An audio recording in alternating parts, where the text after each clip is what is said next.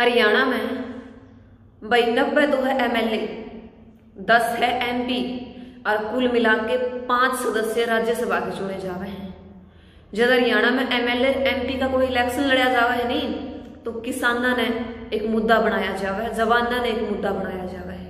लेकिन आज यदि ये किसान अपने हक की खातिर लड़न लाग रहे हैं, उन नब्बे एमएलए में थे और दस एमपी में थे, कोई भी उनके गैल कौन खड़ा इन सिर्फ़ अपना वोट बैंक का मतलब है।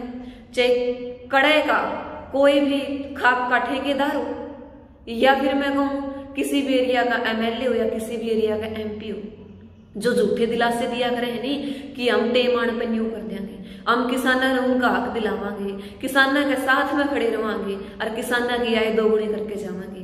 आज वे ठेकेदार, आज वे लोग पता नहीं कौन सी कोठी में जाके बैठ गए, पता नहीं कौन सी गाड़ी में जाके बैठ गए। पता नहीं कौन से दीवार के पीछे वो छुप गए। यह बात पुराने समय में भी चल दिया हुआ है और आज भी हम यह बात कहा। यदि किसान ने अपने हक की लड़ाई लड़नी है नहीं तो वह खुद लड़नी पड़ेगी।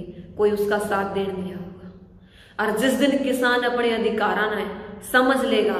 जिस दिन किसान अपना वोट सोच समझ के देना शुरू कर देगा नहीं, उस दिन यकीन मान के चलियो, जो किसान होगा उसका सब ऊँचा दर्जा माना जाएगा और उसने कोई भी पीछे करना नहीं होगा।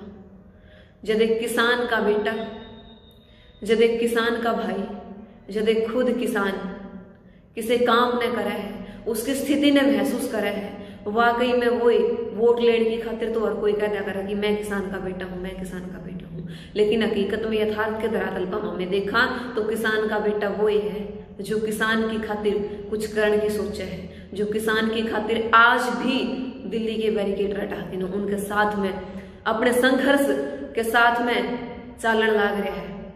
किसाना के संघर्ष के साथ में चालन लाग रहे हैं, उनका साथ देने लाग रहे हैं। और सच्चा नेता वही है जो किसान का साथ दे रहे हैं। न तो झूठे दिलासे और झूठे वायदे, झूठे वचन, पहले भी बहुत मिलते रहे हैं, आगे भी बहुत मिलते रहेंगे। अब टेम आ गया है, किसान को अपने हितेशी ने अपने विरोधी ने समझे, उसके बाद सोच समझ के अपने वोट का फैसला करे। अपने वोट के साथ साथ में वो सरकार चुने, उस भाई ने चुने, जो वाकई में उसका साथ देता हो। ना तो देश में इतने एमएलए चुने जावे हैं, देश में इतने एमपी चुने जावे हैं देश में इतने राज्यसभा में सदस्य जावे हैं। आज किसी ने भी किसान की शुद्ध नहीं है। यदि कोई बोला है तो पहला कानून लाओ जिहाद। इसे इसे कानून हमारे भी आवे हैं। लेकिन किसान के बारे में कोई नहीं सोचता। किसान की व्यथा के बारे में कोई नहीं सोचता।